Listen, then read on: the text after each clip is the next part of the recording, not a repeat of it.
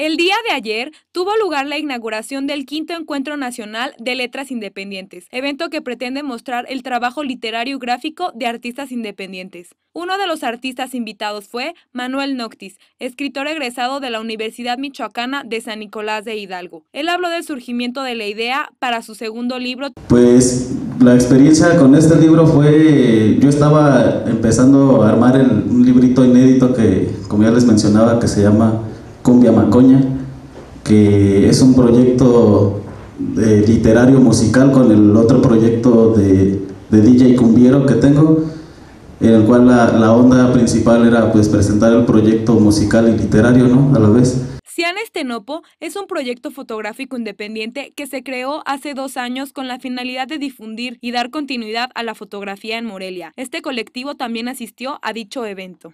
Y donde además de mostrar nuestro trabajo individual, incluimos a más fotógrafos o críticos, curadores, talleristas, eh, para dar continuidad a su trabajo y abriendo otras posibilidades para incursionar en nuevos ámbitos fotográficos. Uno de los invitados más aclamados fue Ulises Córdoba, poeta egresado de la Sociedad General de Escritores de México, y en este encuentro presentó su antología La Vuelta al Mundo en 80 camas. Es una antología de poesía amorosa, es una antología de poemas.